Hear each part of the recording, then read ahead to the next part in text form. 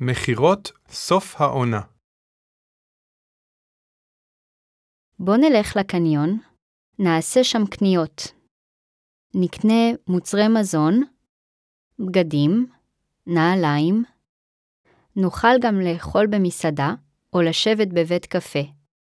אם תרצה, נוכל אפילו לראות סרט. יופי, ברצון. את תמיד אומרת שאף פעם אין לך מה ללבוש. זו סוף העונה, המכירות מתחילות היום. בטח היית רוצה למצוא לך מעיל או שמלת ערב ארוכה. תסתכלי, שמלה ממש יפה. כדאי לך למדוד אותה. מה דעתך? למה לא? שלום, הייתי רוצה למדוד את שמלת הערב השחורה הזאת. המידה שלי היא 40.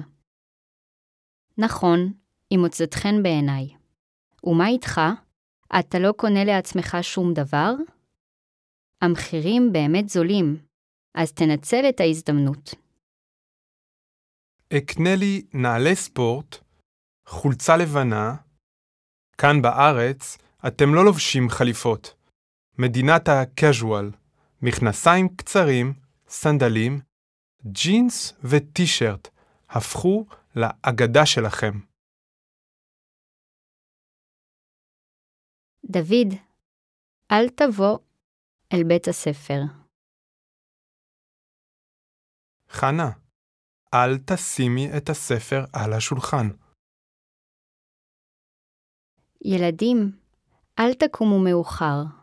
אתם צריכים ללכת לבית הספר. אמא, אל תשאירי בחנות עכשיו. זה לא נעים. דניאל, אל תרוץ אל הכביש. בנות, אל תטוסו בשבוע הבא. אין טיסות.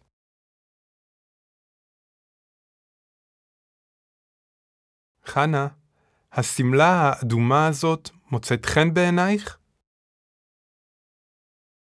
לא, דוד, היא לא מוצאת חן בעיניי. השמלה השחורה מוצאת חן בעיניי. למה לא קניתם את החולצות הלבנות האלה? הן פשוט לא מוצאות חן בעינינו. דוד, המכנסיים הכחולים מוצאים חן בעיניך? כן, הם מוצאים חן בעיניי.